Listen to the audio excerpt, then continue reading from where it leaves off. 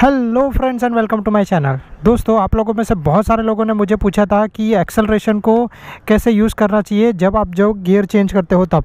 तो इस वीडियो में मैं आपको बताऊँगा उसके बारे में। तो चलिए स्टार्ट करते हैं।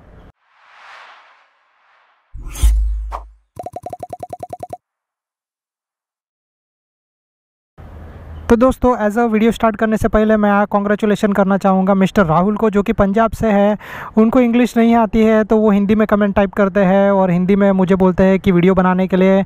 और उन्होंने मेरी चैनल के वीडियोस देख के सीखा है so congratulation Rahul.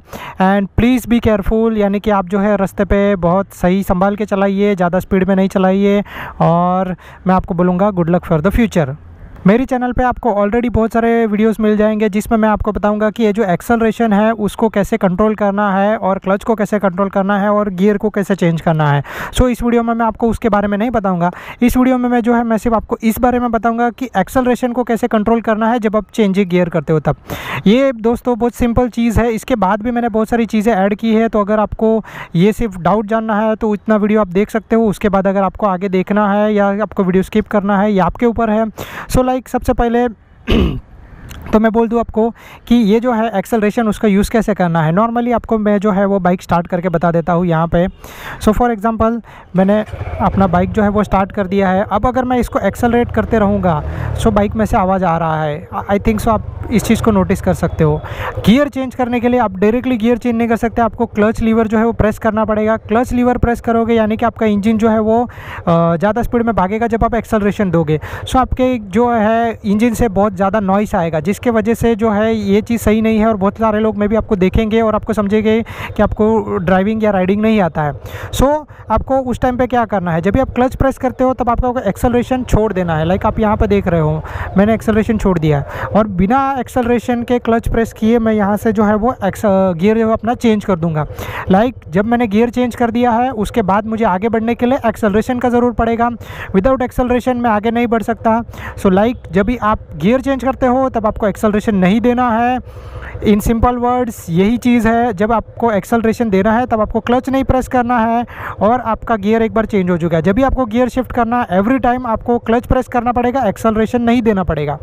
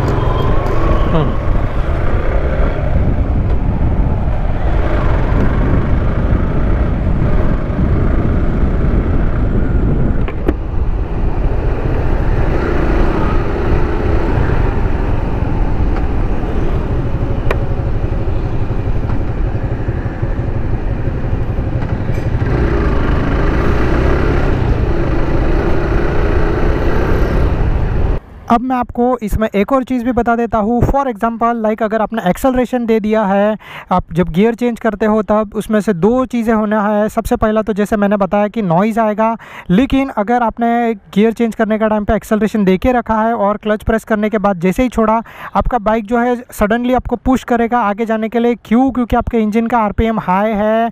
सो ये चीज़ भी हो सकता है जिसकी वजह से एक्सीडेंट हो सकता है। मे बी आप गिर सकते हो। मे बी आप ब्रेकिंग करने का टाइम पर गिर सकते हो क्योंकि आपको पता नहीं, अचानक से सडन हो गया। सो so, एक्सेलरेशन वाला चीज़ है जो बहुत इंपॉर्टेंट है और आपको उसको ऑलवेज़ एज अ कंट्रोल करना चाहिए। जितना चाहिए उतना ही लिमिट में देना चाहिए। अगेन मैं आपको बता दूँ कि जब भी आप गियर चेंज कर रहे हो तब आपको एक्सेलरेशन जो है वो नहीं देना है। गियर चेंज होने के बाद आपको एक्सेलरेशन देना है और वो भी स्लोली स्लोली एकदम ज़ोर से झटके से मत दे दीजिए जिससे प्रॉब्लम हो जाएगी। सो so, आपको एक्सेलरेशन ऑलवेज़ देना है स्लोली स्लोली इस तरीके से। अगर आपको एक्सेलरेशन कंट्रोल करने के लिए नहीं आ रहा है तो आपको एक एक्सरसाइज देता हूँ। प्लीज़ ट्राई कीजिए। यहाँ पे आपने एक्सेलरेशन को पकड़ के रखा है, यानी ये आपका थ्रोटल है, और यहाँ पे आपको किस तरीके से एक्सेलरेशन देना है, आपको ट्राई करना है एवरी टाइम इस तरीके से। आप इसको ट्राई कीजिए कम से कम 30 से 40 बार दिन में तो आपको वो एक्सेलरेशन देने का आदत हो जाएगा। इतना एक्सेलरेशन दोस्तों बहुत इनफ हो जाता है। इतना एक्सेलरेशन देने का ज़रूरत नहीं पड़ता है। सो लाइक यहाँ से लेके यहाँ तक का जो चीज़ है, वो आपके लिए बेस्ट है। अब जो है मैं यहाँ पे आपको थोड़ा सा एक्स्ट्रा नॉलेज देने वाला हूँ जो कि आपको अगर देखना है तो ठीक बात है। लाइक like, मैं आपको अब यहाँ पे बताऊँगा कि व्हाट इज़ गियर गियर जो है वो बेसिक एक सिंपल चीज़ है लाइक वो कनेक्शन है इन बिटवीन योर इंजन और योर ट्रांसमिशन इसको सिंपल बनाने के लिए मैं आपको कुछ इस तरीके से बोल सकता हूँ कि फ़र्स्ट गियर में आपको ज़्यादा पावर मिलेगा जो आपको पिकअप के लिए बहुत ही सही होगा, लेकिन आप उसको ज़्यादा स्पीड में राइड नहीं कर सकते क्योंकि इंजन पर प्रेशर बढ़ेगा। वही सेम आप टॉप गियर यानी कि फिफ्थ या सिक्स गियर पे आपको पावर आपको स्पीड ज़्यादा मिलेगा, लेकिन पावर उतना ज़्यादा नहीं मिलेगा। और इसीलिए जो है दोस्तों, इन सब चीज़ों में इस तरीके से पावर डिवाइड होता है। लाइक फ़र्स्ट गियर में आपको 100 परसेंट पावर मिलेगा तो सेकेंड गियर में आपको एटी और थर्ड गियर में 60 सो लाइक इस तरीके से अगर मैं आपको बता दूँ कि यहाँ पे अगर आप फ़र्स्ट गियर करके चालू करने जाओगे तो आपका बाइक आगे बढ़ेगा। पर मे भी वही सेम चीज़ सेकेंड गियर में या थर्ड गियर पे नहीं हो सकता। इसके बहुत सारे डेमोन्स्ट्रेशन मैं आपको ऑलरेडी करके दिखा चुका हूँ। मेरे वीडियोज़ में अब जो है मैं आपको बताऊँगा आरपीएम क्या होता है? आरपीएम का मतलब होता है राउंड्स पर मिनट या फिर अगर आप बोल सकते हो रेवोल्यूशन पर मिनट रेवोल्यूशन यानी कि एक सर्कल होता है। लाइक सिंपल आपको मैं एक लैंग्वेज में बोल दूँ कि एक जो पर्टिकुलर चीज़ है आपको कंप्लीट करने के लिए एक राउंड लगता है। सो ये जो हो गया आपका वन आर वैसे ही आपका इंजन जो होता है वो सिंपल सिर्फ़ वन आर पे काम नहीं करता है। ये काफ़ी ज़्यादा हाई आरपीएम पे काम करता है normal then one like engine का आरपीएम बेसिक जो है वो चालू होता है वन थाउज़ेंड से आप कैलकुलेट कर सकते हो।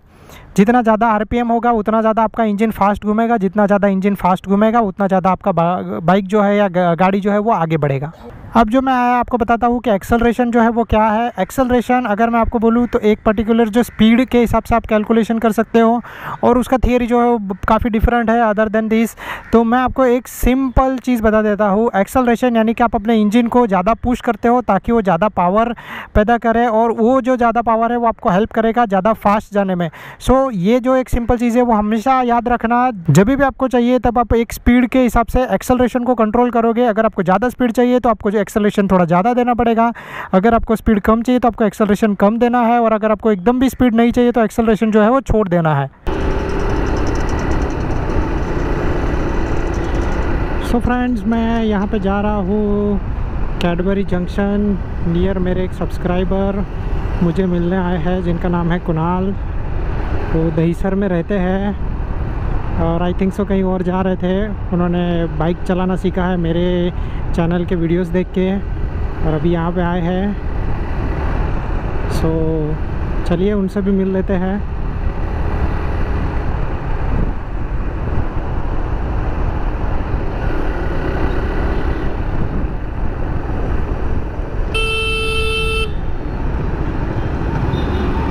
देख रहे हो लोग, हाईवे पे किस तरीके से बाइक चलाते हैं, कार चलाते हैं, सब। के तो उन्होंने बोला कि वो कुछ यहाँ पे है। K T M showroom thinks से भी शाही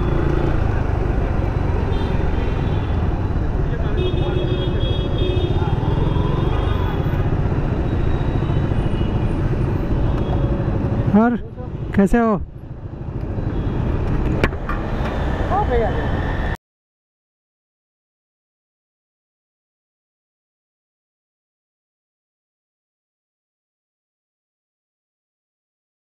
सो so, दोस्तों thank you so much for watching I hope so आपको ये वीडियो पसंद आया है और पसंद आया तो प्लीज़ लाइक कीजिए अपने दोस्तों के साथ शेयर कीजिए और मिलेंगे नेक्स्ट वीडियो में. तब तक के लिए बाय